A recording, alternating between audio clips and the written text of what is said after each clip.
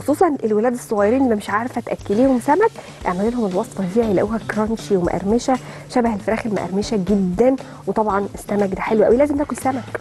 والله المفروض الخبراء والعلماء بيقولوا لنا لازم العيال ياكلوا سمك على الأقل مرتين في الأسبوع. حد فينا بيعمل كده؟ والله الناس اللي بتعمل كده دي تبقى ناس شاطرة. فيهم بقى السواحلية بقى بتاع بورسعيد وإسماعيلية وإسكندرية والناس الجميلة دي. لكن إحنا هنا في القاهرة يعني أو أنا حتى قليل جدا لما باكل سمك للأسف. بس كل شوية تجيلي صحوة كده صحوة الأمومة وأقوم قايلة لهم النهارده سمك وأبقى عاملة كده وأبقى حازمة. فدي بقى بتنقذني بقى بياكلوا سمك وبيقولوا لي الله حلو واعملي لنا وبتاع. فأقول لكم إزاي تعملوها. بصوا تتبيلة السمك اللي هي التتبيلة التراديشنال العادية خالص كمون وتوم وليمون ملح وفلفل. الطريقة البسيطة خالص؟ بنحط كمان خل ونتأكد كده إن السمك وصلت له التتبيلة. نيجي بقى للتتبيلة بقى الأهم بقى اللي هي قبل القلي. عبارة عن إيه؟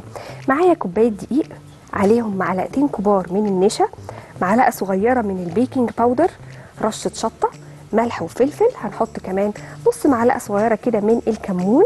هنحط برضو ربع معلقة صغيرة كده من الكزبرة الناشفة. ومعانا توم بودرة. مش هنحط بصل بودرة هنحط بس توم بودرة. وهنحتاج نص كوباية مية. هنعمل إيه بيها نص كوباية المية دي؟ أنا بعد ما أحط كل المواد الجافة دي مع بعض اللي هو الثوم والكزبرة ورشة الشطة والبيكنج باودر والنشا مع الدقيق والملح والفلفل هقلبهم كويس قوي واخد منهم حبة اللي هو تقريبا نص الكمية أزود عليهم شوية مية وأعمل عجينة كده زي عجينة الكريب. تمام؟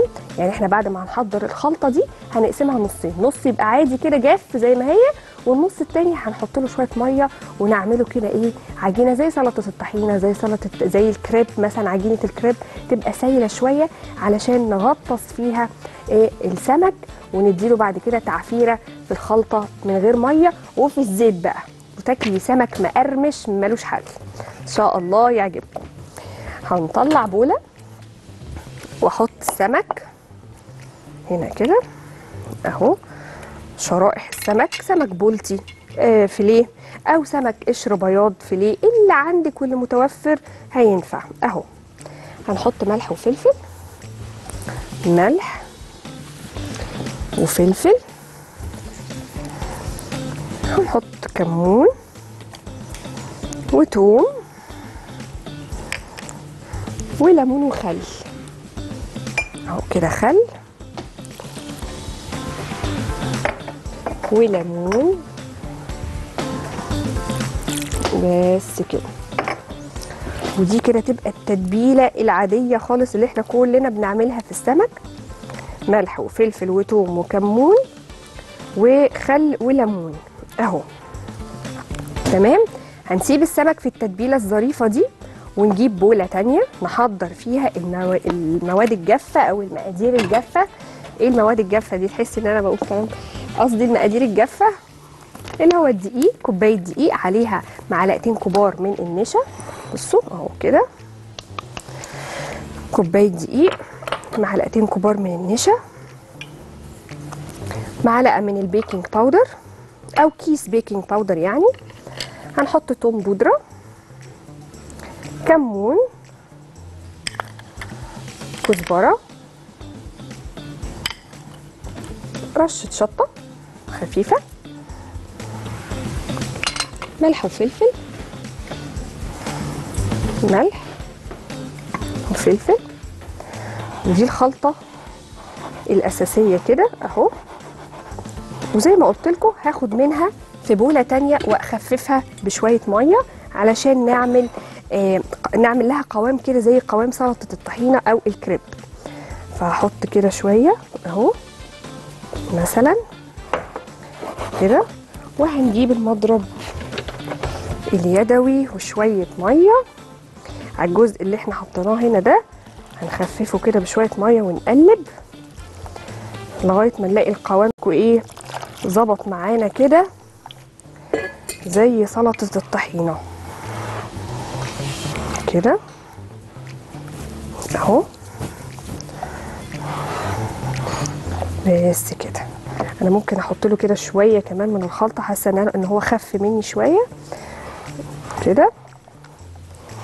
بس كده. نفس قوام سلطة الطحينة بالظبط. تمام؟ هعمل إيه بقى بعد كده؟ هقوم واخدة السمك الظريف ده واخداه كده شريحة السمكية اللي إحنا تبلناها هقوم عاملة إيه؟ هقوم مغطساها في الخلطة السايلة اللي إحنا خففناها بمية. معايا يا أستاذة سمورة. أهو.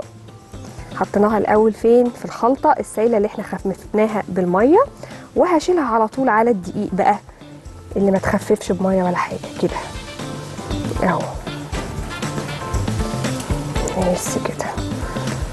أنا حاسة إن الزيت سخن قوي فهعمل حركة عشان أهدي الزيت شوية. هزود زيت. بس كده. فلما هزود زيت هيقلل شوية درجة الحرارة بتاعته. وناخد شريحة السمك الحلوة دي ونحطها. بسم الله. ادي أول واحدة. وهكذا. نحطها الأول في الخلطة السايلة وبعدين في الدقيق. كده.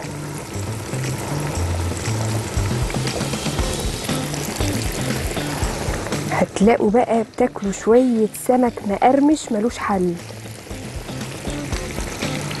كده. اهو.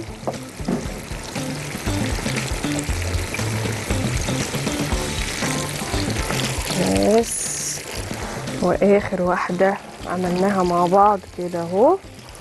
وبرده ندحرجها في الدقيق.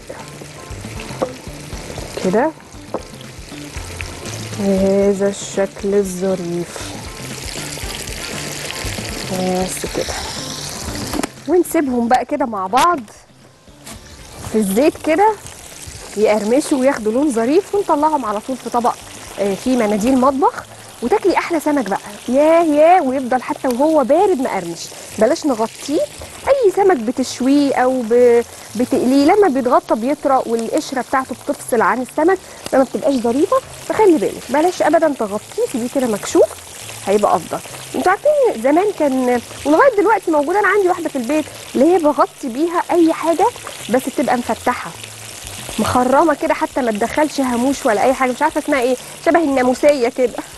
دي ظريفة جدا إن إحنا نغطي بيها الأكل من غير ما يجي نضمن ما يجيش ابدا أي حاجة عليها وفي نفس الوقت نحافظ على الأكل يبقى مقرمش. بصوا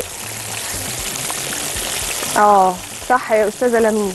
في منها بلاستيك وفي منها اللي هي الأنواع كده شبه السلك. عارفين السلك بتاع الشيش كده ده؟ فما يدخلش أي حاجة بتطير ابدا بس تبقى محافظة على الحاجة تفضل مقرمشة ومتهوية مش مكتومة ومتغلفة بقى وكده يعني. بس السمك ريحته وشكله خطير. أهو. أنا هفضل أحمر فيه كده.